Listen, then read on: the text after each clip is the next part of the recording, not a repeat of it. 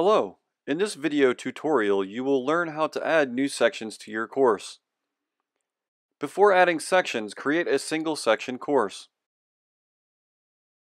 To start, click Class Schedule to open the Schedule page. Towards the top of the scheduler, click Add Section. The section you are copying is listed at the top of the page.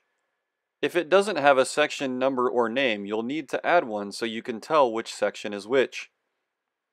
Give your new section a number. Select an instructor for your new section.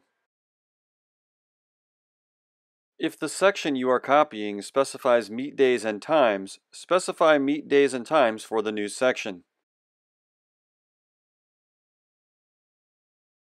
The class mapping section shows you how the meeting days for the section you are copying are mapped to your new section.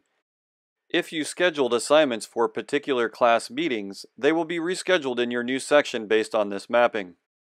To add more sections, click Add Section. To remove a section, click the trash icon. When you are ready, click Copy Section Schedule to create your new sections. A message indicates that you've copied your section. If you already have more than one section, you'll need to do things a little differently. First, select the section you want to copy. Then select Add Section in the same menu. You can find other video tutorials and much more information in the online help.